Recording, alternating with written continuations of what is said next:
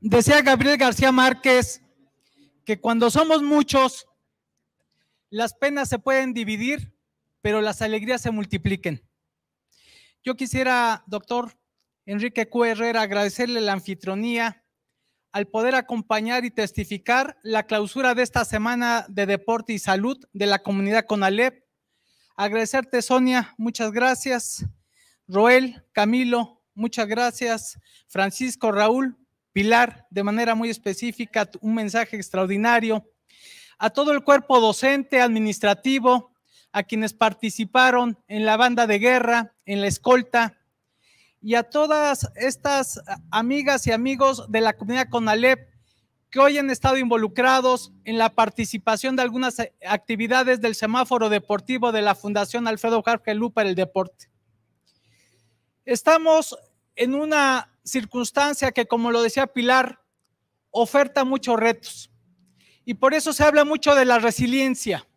La resiliencia significa la capacidad del ser humano de sobreponernos a los obstáculos. Y la pandemia del COVID-19 ha generado, no solo a nivel global, sino también a nivel local, mucho sufrimiento. Hemos perdido seres queridos, hemos tenido pérdidas patrimoniales, hemos tenido pérdidas de nuestra, nuestro control emocional. Muchos dicen que es desnutrición emocional.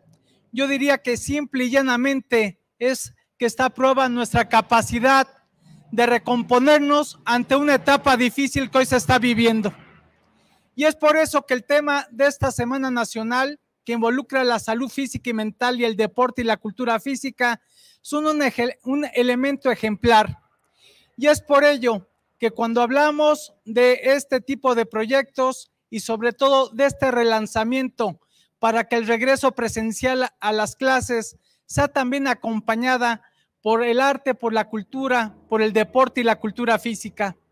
Y dentro de este planteamiento, hoy, señor director general, a través de la Fundación y del Movimiento Olímpico, nos ratificamos como parte solidaria de este esfuerzo. Hoy por hoy, encontramos precisamente problemas de las enfermedades no transmisibles. México tiene no solo la pandemia del COVID-19, sino una, una, epidemia de diabetes, de hipertensión, de obesidad y sobrepeso, de cardiopatías. Y de acuerdo a los Objetivos de Desarrollo Sustentable de, las, de la Organización de las Naciones Unidas y del Programa Mundial de Activación Física de la Organización Mundial de la Salud, solo a través de la activación física es como podemos prevenir e intervenir en detrimento de estos flagelos de salud que hoy nos aquejan. Y es por ello que este mes de abril es el mes del deporte y la cultura física a nivel internacional. Y el 6 de abril, hace escasas horas, se conmemoró este Día Internacional como un acuerdo unánime de las Naciones Unidas. Y yo hoy traigo un mandato, un mandato importante para nombrar a uno de los 40 embajadores que hay en México de la promoción del deporte y la cultura física.